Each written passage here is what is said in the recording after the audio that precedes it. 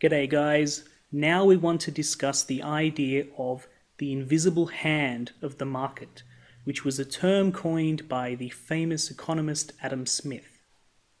So, the idea of the invisible hand theory is that the actions of individuals pursuing their own self interest, this is the key, result in the best outcome for society, as if guided by an invisible hand. So it's this concept that for society to be better off at large, you do not need people to sort of selflessly act in the interests of everybody else. You can allow people to act selfishly and to look out for themselves, and this will actually naturally result in everybody being better off. So it's something that at first might seem counterintuitive. But we've seen it when we look at things like market equilibrium.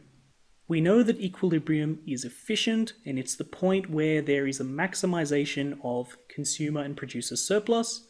If we want to use surplus as a measure of how well off people are, then you can say that equilibrium is where everybody in society is better off. But how do we get there? Do you need to get to market equilibrium by having some authority try to make it happen for the sake of everybody else? Well, no. If you just allow people to act selfishly in their own self interest, imagine that the price is too low. So at this point, we've got a low quantity being supplied. We can see that